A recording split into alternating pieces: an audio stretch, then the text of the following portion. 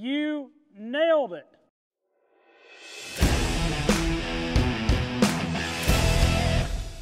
Now, I want you guys to realize what she just got right there was just as cool as cutting a cow, a flying lead change, a spin, backing up bridleless. Now, I want you guys to see what she did right there was what that horse needed in that exact moment. She gave up her will to have empathy and help the horse.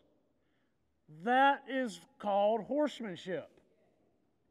That is what Tom was uncannily good at that allowed him to be so successful with horses. She gave up her desire to, to have empathy and help that horse find peace. That's listening to the horse. Nothing I would have loved more for you to go in there and cut a cow. The horse said, I can't even walk a straight line and stand, and you're about to try to work a cow on me?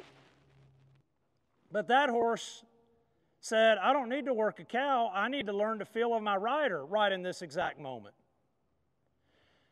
So when they say listen to the horse, adjust to fit the horse, that was it.